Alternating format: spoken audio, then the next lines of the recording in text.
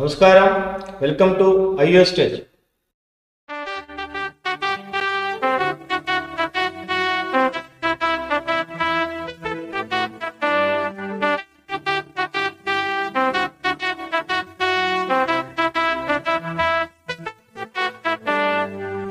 ഇന്നേക്ക് നമ്മൾ എന്നെ ഉണ്ടാക്കാൻ പോകുന്ന പാത്ത സോയ പെപ്പർ ഫ്രൈ അതിക്ക് ഏതെല്ലാം വേണം പാകലാമോ? சோயா நூறு கிராம் ரெண்டு வெங்காயம் இந்த மாதிரி வட்டணுட்டாளா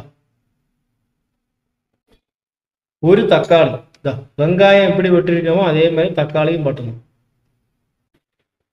தேங்காய் ஒரு மூணு பீஸ் இதை இந்த மாதிரி பொடியா ஒட்டிக்கணும் வெள்ளம் தலைக்கிட்டு சோயாவை போடுறோம்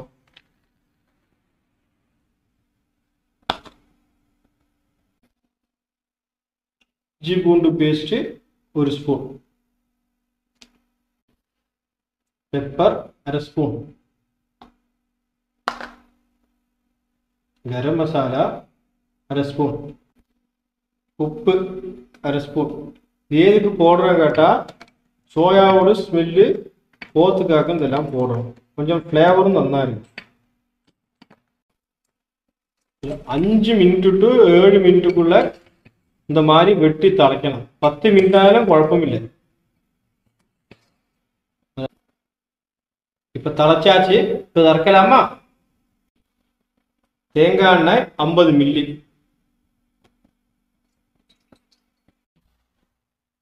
எண்ணெய் காஞ்சாச்சு. தேங்காயை போடணும்.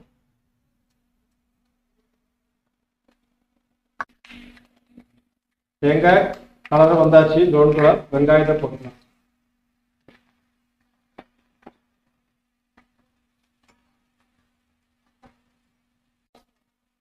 வெங்காயம் வதங்கியாச்சு இப்போ இஞ்சி பூண்டு பேஸ்ட் நடுவில் போடலாம் அப்படி மல்லிப்பொடி ஒரு ஸ்பூன்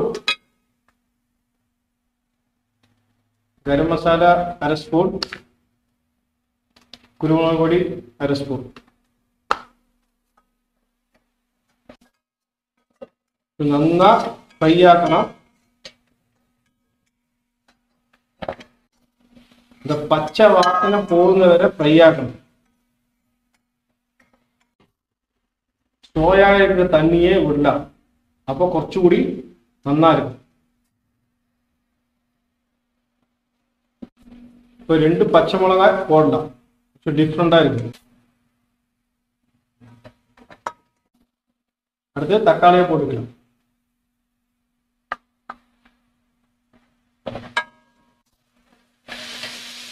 தக்காளி போட்டு வதக்கிட்டு மறுபடியும் கொஞ்சம் தண்ணி விட்டுக்கலாம்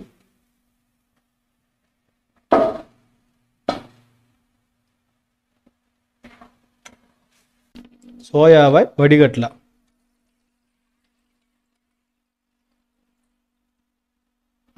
சோயாவை போடலாமா?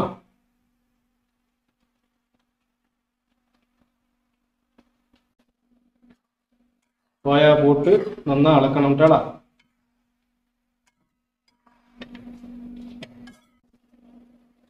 ഒരു സ്പൂൺ മുളകപ്പൊടി இப்போ കുറച്ച് ഉപ്പും போட்டுக்கலாம் உப்பு அதில் தானே போட்டிருக்கோம் இதில் கொஞ்சம் கூடி ஆட் ஆகிடும் கலர் சேஞ்ச் ஆயாச்சு பாருங்க இந்த மாதிரி ட்ரை ஆகும் வேற வற்றிட்டே இருக்கும் அஞ்சு மினிட் சிம்மில் வச்சா வெள்ளம் எல்லாம் வத்திடும் அண்டையில் அப்படியே கொத்தமல்லி இப்படி போடணும்